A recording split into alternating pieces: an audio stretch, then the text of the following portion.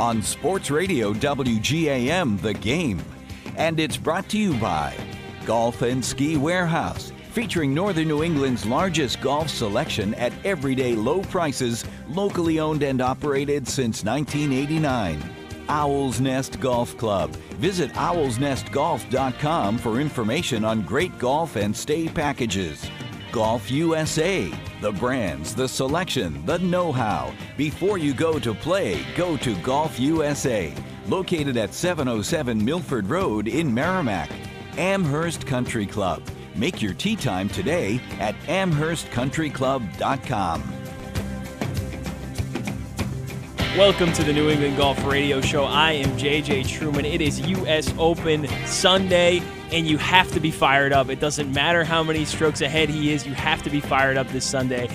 Happy Father's Day to everybody out there. It's also Father's Day, a very important event for people across the country. So make sure you connect with your father, say hello, say Happy Father's Day, take him out to the course play a few holes, play nine, play 18, play 36, do whatever you got to do today. Enjoy that time with your father. We got Chris Arcan behind the board this morning. He is in full celebration mode, not only for the U.S. Open, but the Bruins Championship, which they took down, and he is fired up about that. So he's got some extra juice this morning. Chris, how you doing? Doing very well. Happy Father's Day to everybody out there, and uh, it's a beautiful Sunday for the first time in a while. So that's uh, it's very nice. Absolutely, it's nice that we're in here with some nice weather outside. We got a full show today. We have so much to talk about. We have the FedEx St. Jude from last week. We'll talk about that briefly. Obviously, we're going to get deep into the U.S. Open talk. That's the story. That's the story of the week.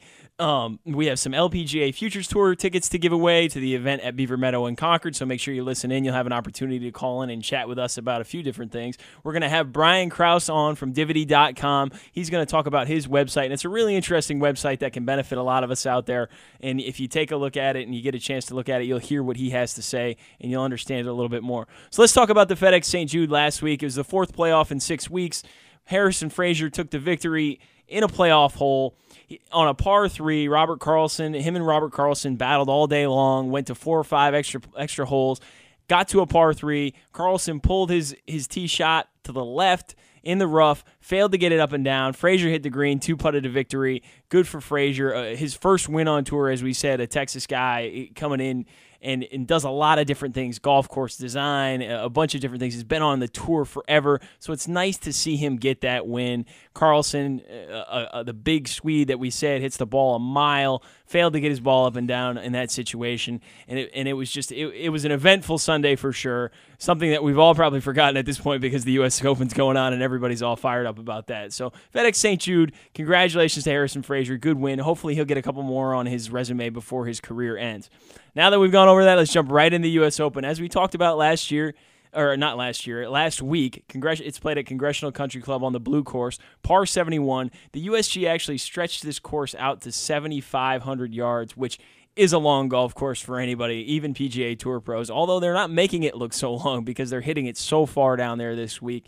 7,500 yards is a long, long way. There's a lot of elevated tees, there's a lot of elevated approach shots. So there's a little bit of, there's a little bit of, I guess, uh, dynamic to this course that the PGA Tour pros need to think about and make sure that they take those certain things into account when you're teeing off from a tee box that's 25 feet or 20, 26 feet above the fairway. You have to take into account how far down, how much further your ball is going to go. Of course, they're accustomed to doing that. They're used to playing at elevation. They've done it a million times. They had an opportunity to get out and play practice rounds, walk the course, come up with a game plan for their caddy. Some of the interesting holes on this course this is the 10th hole. It's a 225 yard par three, although they did have the tees up yesterday. I think it was about a 176 yesterday. A lot of guys hitting hitting uh, eight iron, seven iron into that into that green yesterday, but on Thursday at 225 has water in the front, bunkers in the back, relatively hard green for the soft conditions down there. Certainly a difficult shot. Rory McIlroy bogeyed it yesterday, but one of those holes that you want to see people play because it's interesting. It's packed. It's it's got a gallery atmosphere there. It's right by the clubhouse. And the guys you can see feel the pressure when they get off there. All, interestingly enough, guys started out on 10 on Thursday and Friday. They won't do that since it's the weekend. They'll all start on one. But Phil dropped a double on Thursday, first hole of the U.S. Open, and, and you just I had to feel bad for him there because Phil Phil has so many downfalls in the U.S. Open over the years, and we'll talk about that a little bit more. So number ten, that par three, certainly one you want to watch. The other one that I like to watch is 18, 525 yard par four. It's downhill. This is where Rory made his double bogey on Friday, pulling his tee shot to the left and then hitting in the water. Phil also hit it in the water on Friday there. The second shot is usually a mid to long iron, except for those guys that are bombing it out there. I think Rory had eight iron in there yesterday, which to me, on a 525 yard par four, even though it's downhill, is just absolutely amazing. I mean, you're, you're hitting. There's par fives out there that that I can't get to in 525 with driver three wood. So just think downhill about downhill or not. Yeah, yeah, it doesn't matter. No wind, wind. It's just it's amazing that, that he's hitting eight iron into that green, and, and I think the one he hit in the water, he actually hit a seven iron. Um, and it hit the green too. It's not like it didn't go straight in the water, did it? No, yeah. Well, didn't it landed, it landed just a little bit short, but yeah, had a little bit too much draw on it, and, and had that side spin on it, which brought it down into the water. But amazingly enough, these guys are just absolutely killing the ball down there. Uh, so there, there's two holes that you should definitely pay attention to today. They're fun to watch the guys play. Certainly going to challenge them. Also, if you hit a good drive or you hit a good tee shot on 10, an opportunity for birdie. So fun holes to watch.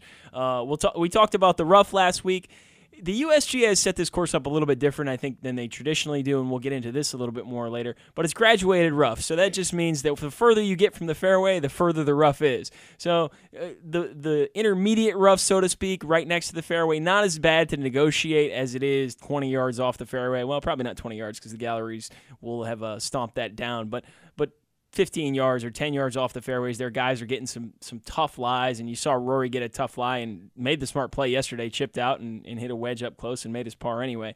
But the rough not as de- deep and thick right off the fairway as the usga traditionally has it uh, which i think is an interesting thing. Uh, the fairways were a lot softer than expected. We talked about last week how guys would want to hit cut shots. The reason they'd want to hit cut shots even though if you look at the golf course the layout looks like it favors a draw is because a cut shot will land a little bit softer and they can control that and keep it from running through the fairway. The fairways have been so soft due to the rain at night this week that guys are just bombing draws down there. So it, that's really had an impact on what they're playing off the tee, the type of shot shape they're playing, and how they're controlling their their uh, tee shots. So the USGA is just like I said, well known for having ultra hard fairways, which prevents you from hitting that hard draw because the roll, you just can't control it once it gets on the ground. So guys typically hit a cut. However, this week they're able to just bomb it out there. The greens, not a lot of complaints about the greens. Davis Love III had something to say about them on Thursday, said they were a little bit bumpy, a little bit dried out. However, the rain overnight, there's been one rain delay, there might be a little more rain today, has allowed them to soften up, which really, really is to the players' advantage. They can fire right at the greens. They don't have to worry about catching a hard skip, bumping off the back all those sort of things. The weather down there today is supposed to be variably cloudy, maybe some showers in the afternoon, as I mentioned. Uh, all in all, it should be pretty good weather. As I said, the course is soft. Uh, watching the pre uh, the pre game this morning on Golf Channel, talking about drying out the greens, trying to get some moisture out of there so they can get them running really fast today. Which who knows how that'll impact the guys in the field. At this point, I think they're fairly confident with the golf course, and we'll see how Rory responds to that. But I think he's got he's got everything going on all cylinders, so I'm not sure that'll have too much of an effect on him. The thing I want to talk about, though, is the USGA reputation. It's got a reputation in the golf world for setting up courses to be ultra hard, even for PGA Tour pros. Their their stick, so to speak, is that they set up the course so hard that even PGA Tour pros are going to struggle, and you don't see guys putting up big numbers like 14 under and and, and dropping it. Guys, 20 guys under par yesterday on a Saturday at the U.S. Open is sort of unheard of, and they haven't lived up to that reputation this week.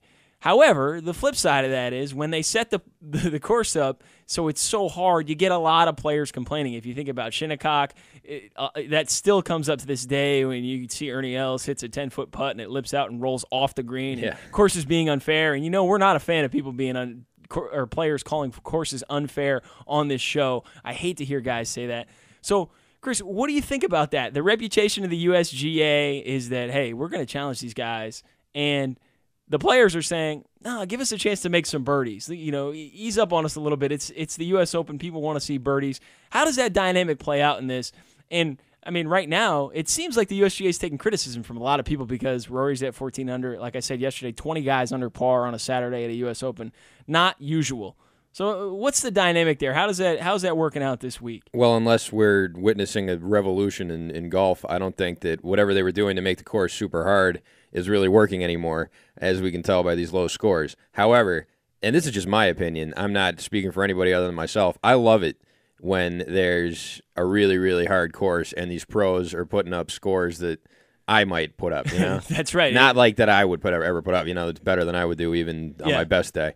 But just to see them not, just to see it not come so easy to them, and to see them really have to struggle and really have to make decisions and and go for like risks that they wouldn't have to on a on an easier course, I think is really interesting. And we see them play so well so often, and it all comes easy. And yeah, we want to see birdies and we want to see eagles and whatever. But I also kind of want to see them have to really work for it. You know, have to really struggle and, and overcome. You know, a, a rough day and a rough and a rough. Uh, a rough course. I think that's uh, really interesting. Right, and, and it's and, and part of it is too the reputation that the USGA has built up with these players. It's expected that they're not going to play well Right. at the Open. I mean, when you t- you hear guys talk about what the winning score is going to be before the week, Graham McDowell played a practice round up there about three four weeks ago. He said the winning score is going to be over par here when the USGA gets a hold of this place. Obviously, that's not the case. I agree. I want to see a really hard course. I want to see really hard fairways. I want to see really hard greens. I want to see these guys challenged every single day Thursday, Friday, Saturday, Sunday. that doesn't mean that you can't set up some of the par fives to give them a chance to make eagle, set up some of the par threes where they have an opportunity to make birdie. However, I want to see on the hard holes, make them really hard for these guys, make them earn it. Now, this week I think has been a little bit different. You can't control the weather. It's rained down there every night. It's been soft. That's certainly had an impact on the way the golf course plays. It, it, it's going to play a little bit longer, but it also gives these guys the confidence to hit the ball as far as they want because they know it's not going to go anywhere when it hits the ground. So that's an interesting thing. And the, the players, although you, you do hear it in, in some situations, Shinnecock was obviously out of control. But the players, they need to accept that challenge. They need to step up and say, you know what, everybody's playing the same golf course. Everybody's playing under under the same conditions. Exactly. So let's let's step up and play the best that we can. And, and in all these really hard holes, yeah, I want to be challenged. As a player, they should want to be challenged too. Let's not say that the place is unfair and and complain about that. I also think an interesting aspect to this is on Thursday it seemed as though everybody that started the tournament had this idea about around par is going to be good for the first round. Around par was going to be good. Rory McIlroy came out with a completely different mindset. I think he just said, you know what, no, I can shoot 65 on this golf course. He didn't say, yeah, around par is going to be good. It's going to get me in the mix. And that allowed him to have the confidence and the wherewithal to just go out and do it. I think once he did it, other guys caught on to that mindset and said, you know what? We could shoot 65 out here too. I don't know if the conditions are they're easier, but they're not as easy as people are making them out to be. I think it's part of the mindset and the reputation that the USGA GA has going into these tournaments that they want around par to win. And and to see guys go out and fire numbers is fun. At the same time, I, uh, I want to see him challenged. And you did see some of those challenges. If you watch Phil's first round, he hit it absolutely all over the place. He he was hitting all sorts of weird and crazy shots. He was hitting second round, he hit driver off the deck. First round, he hit a bunch of punch shots. I, I mean, and you could just see mentally. Phil was in a place that you don't see him in in a regular PGA Tour event just because he was all over the place, and that's what the U.S. Open does. Uh, and I enjoy watching that. And you want to see the best players in the world world challenged. So all in all, is the course too easy this week because of the number that's posted, or is it okay? I mean, I know we like to see a hard course, but is it? Do you think it's just too easy? Is this too much? Should the USGA do something? Should they postpone today's round and make them play Monday and let the place dry out or something? Nah, you can't do that. It's uh, you know, it's Sunday. This is the, this is the day. It's uh, you know, like you said, you can't control the weather, and um, in terms of, of majors now, the U.S. Open's not really standing out for any reason other than the fact that McIlroy is making this historic charge, and that this Sunday is basically going to be, or today is going to be his victory lap, unless something monumental happens here. Right, unless something dramatic happens, that will be the history. And I think I think it is a little bit too easy. But what are you going to do? The USGA is doing everything they can. They have an aerating system underneath the greens. They're trying to dry them out. They have an aerating system underneath the fairways. How much does that cost, by the way? That's got to be expensive. Yeah, but but they're trying to dry this stuff out. They're doing their best to make it as hard as they can. At this point, doesn't really matter. Uh, as you know, Rory is is is on point. It, he's in full control of his swing. It looks like he's poised to win. Speaking of Rory, let's get into him for a little bit here. He's in, as we said, complete control. Former U.S. Opens finished T10 in 2009 at Bethpage Black. Missed the cut in 2010 at Pebble Beach. If he wins, he's going to be the fifth youngest winner of the U.S. Open. There's a couple guys that won it. You know, Francis Ouimet won it back in the day in his teens, which was just just a phenomenal story. Great movie about that as well. Um, Rory's first round shot a 65, as I said, just came out in that mindset. I'm going to hit it exactly where I want on every single shot that I want, and and I can shoot 65 on this golf course. And if you watched it, it was just unbelievable. You, you haven't I, you haven't seen anybody do it since Tiger in 2000 at Pebble Beach. I mean, just a guy that's oozing confidence and, and just placing it. Second round comes out 67 doubles the 18th, as we talked about, hit his drive over in the left rough. Maybe got a little bit too aggressive with the second shot, maybe didn't. How can you blame him? Hits it in the water, doesn't get it up and down for bogey, but doubles that. Uh, third round yesterday, 68, Bogey the 10th, which is the par three we talked about earlier, but otherwise had complete control, was just laser like with, with his golf ball. I mean, exactly where he wants to hit it every single time. First player to reach 14 under in a U.S. Open. He's got the lowest 54 hole score ever in the U.S. Open. And in the last 10, 11 rounds in major championships, he's had 10 under par. Now that's barring the obviously the 80 at the Masters that everybody's talking about. That's really good though. Which, but if you think about that in major championships, as we talked about, in the USGA has the reputation, but the other majors as well for setting up the golf course extremely hard. 10 rounds under par out of 11 in his last 11 major championships. Amazing. The guy's poised to break a ton of records, set the single scoring record uh, for three rounds, beat Jim Furyk. He's got 199. Jim Furyk had 200. Unbelievable control of his swing. Unbelievable to watch.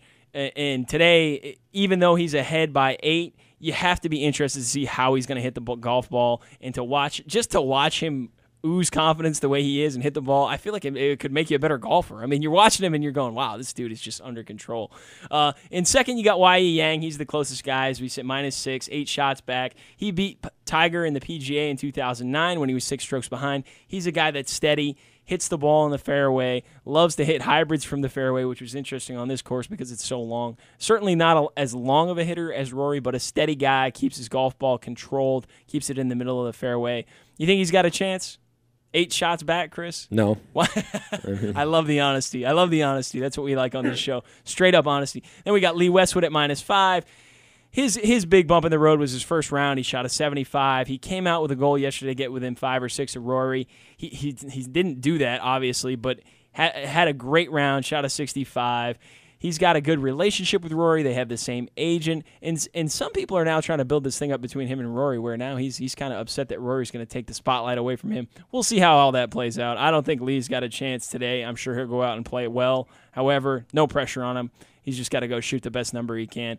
Got Jason Day in the mix, which I think is interesting because we talk a lot on this show about the young guns. He shot a 32 on the back nine yesterday, finished second at the Masters playing with Adam Scott. He absolutely bombs it off the tee. This kid hits some huge tee shots. Is he part of the future of golf too? Just 23 years old, him and Rory. Is that is that going to be the young guns that we talk about more and more on this show? I don't see why not. Yeah. It's, it's, uh, he's doing a great showing today, and and yeah, you know, no, no one's touching Rory really, but anyone who's down there in the lower tier, especially at that age, you have to take notice. And of. I agree with you. At 23 years old, the way he's played in these major championships, watch out for him moving forward. He he's going to be a force certainly. You got Robert Garrigus, and this guy just absolutely bombs it. It's his first major. He made some putts yesterday. He's at minus five, and a guy that we briefly mentioned on a couple show or last show, Sergio Garcia, minus four, T six. His name has come up. Is he back? He, you know, he's not warming up before his round. That's probably helping his mental his mental state. He's not getting upset at the way he's hitting the ball and, and helping him think less when he's on the golf course. Is he back now, Chris? I don't know. I hope not. Watching watching Sergio Garcia play golf like stresses me out. Like he's one of the, you know what I mean? He's one of those guys when you see him, you're just like, oh my god, just get on with it already. Too nervous. Too nervous. Uh, and he makes you, me nervous. Yeah, too much thinking going on there, Sergio. And then we got Phil, the guy that everybody loves, who's missed so many opportunities in the U.S. Open. He's got five runner-up finishes in the U.S. Open. He's been that close. He, as I said, he's driving it all over the place. His short game has been helping him out. He hit some really interesting shots. An interesting thing that I saw was he was working with Butch Harmon on his swing on Friday morning. Usually, you don't see players working on their swing before they're going to play in a U.S. Open round. Okay, we're going to take a break here. We'll get into more U.S. Open talk when we come back, and uh, we'll go through a few more players. We'll talk about some stuff, give you guys an opportunity to call in, win four tickets to an LPGA Futures Tour event at Beaver Meadow right here on the next segment on WGAM.